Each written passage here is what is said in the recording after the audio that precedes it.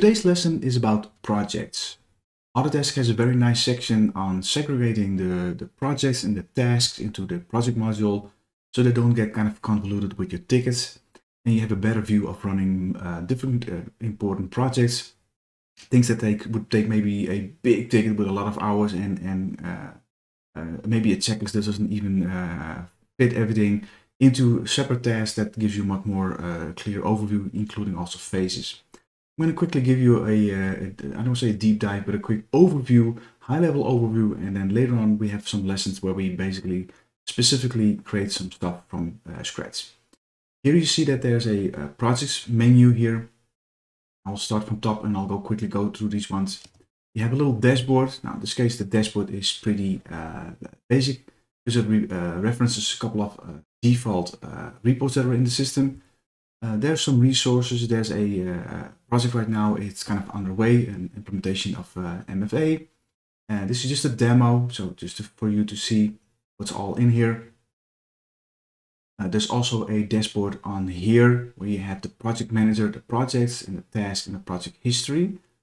Let's click this project manager task also on the on the top. And as you can see, this one gives you much more information, much more uh, graphical information. Now this is all uh, some uh, demo stuff, so it's not really uh, current and active, but they would say there was nine projects that were overdue. That's not a good one. 35 hours remaining hours, so maybe if you put one resource on it, you can get it done. Over here you have your active project, uh, the progress, several projects are on the way. And uh, this is an interactive menu, so you can click on it and it will open up that particular uh, project into detail. Um, let me quickly show you a couple of them more. You have the active projects by lead and by department. Now, modifying this entire uh, dashboard is an option, and that's going to be explained in the dashboards. So this is one dashboard that you have. There's another one that calls for the task. So a, a uh, line item into a project uh, is called a task. It basically has the same uh, view as a current ticket, what you know from the system. This gives you a dashboard specifically listed on all the tasks. So it could be like the overdue tasks, um, see what it all brings up, the overdue uh, amount of hours that are in those tasks. Uh, is it by resource? How many uh, hours are due? some tasks coming up. So all kinds of detailed information, even spread out over your resources. And here you can see that a lot of those tasks that are overdue have not even the resources assigned. So this would be kind of a way for you to kind of manage this click on it and uh, change those tasks into somebody that is res uh, a resource. And then from there you can uh, work with it. The second section is the projects. You can do the search. Now, by default, it brings up the search screen. The search screen is kind of similar to the screens that we know. Uh, make sure that by default it says project open. For right now, with the default filters, I can press search. And it gives me a couple of those project names. But it could also be that you want to also see some closed project. Uh, there's the button over here to say clear filter values, and now it goes away. And now you can press search again. In this case, it brings up the, the new or the same list of projects because as you can see over here, the status is all the same. Remember, there's the column chooser here. If you want to have more information in this particular uh, list, then you can basically uh, add it in here.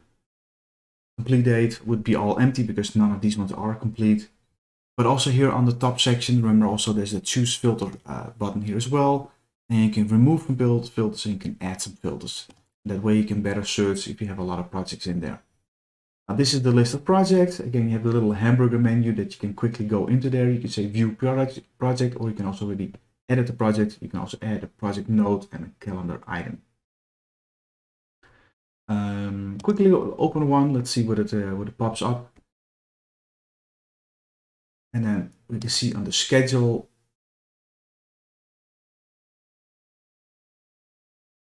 what's going on.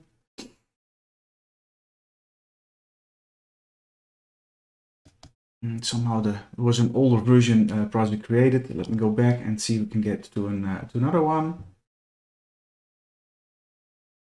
And I probably had to uh, upgrade the, the, the option to convert it to a newer, a newer project. See, now it's done and now I have the option to go to the schedule. And this is kind of what I wanted to quickly show you in a high level overview that these kind of gray bars are your phases. And then you have over here, you have your tasks, which is basically looks like a ticket. And this is a, a whole uh, a network refresh project, an example of, of how that looks. And here you can see also the whole estimated hours and how to get to it. Uh, there's also the summary button that says estimated hours 78 and the duration is 46 days. Um, there's no time booked yet on this one. This one is completely open and it's completely a new project and it has to, uh, to get started. Later on I will show you more how to create this project, but I want to quickly dive into that one. That's the second one is the search project template. Because you can create, once you have a project, let's say you have a project done, and you say this is a good project, I had a good uh, set of phases, good the good task listed in there, then you can save the project as a template.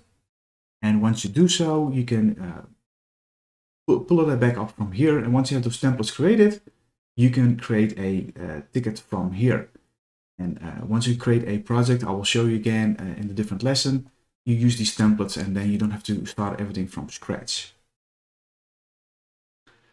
There's also a proposal uh, project. So this is a good one too. Again, you can create a, uh, a proposal project into the system. Uh, probably won't be for the entire work, but if you create a project proposal uh, to calculate the amount of hours needed, and this is before you quote it out. So you would create this proposal. Uh, somebody, an engineer, will will define all the steps, all the hours, and then those hours will go into the quoting. Now, the good thing is once you have uh, approval on that quote, you can just uh, activate the proposal and you don't have to create a project from scratch. The project is already there. So that's why a project proposal is a great way to, to start your quoting, but also once you have won the deal to work from there. The last one is the reports. There's a couple of reports that are concerning about project. As you can see over here, a whole bunch of detail. It all depends on what you kind of you want to use. Do you want to have a profitability forecast? If if all your numbers are correctly entered. Uh, there's the portfolio, how much uh, project we have right now going on, also the profit and loss, also about the tasks, what's due, and there's a couple of live reports there. The, there's nothing in here, but that's a separate lesson. We'll be explaining you how to get those live reports. So you have these kind of reports already here by default. You can find them under the reports in the projects tab, uh, but you also have all those uh, visibility in a uh, live view in these kind of dashboards. As you can see, that concludes all the options that are in the project uh, menu. That's a quick high-level overview. We'll have a separate uh, lessons that will dive deeper into those templates, those proposals, the creating a project. And from there, you will gain uh, the, proper insight on how to work with projects and use this system of Autotask in, uh, in a nice way and get some efficiencies out of it.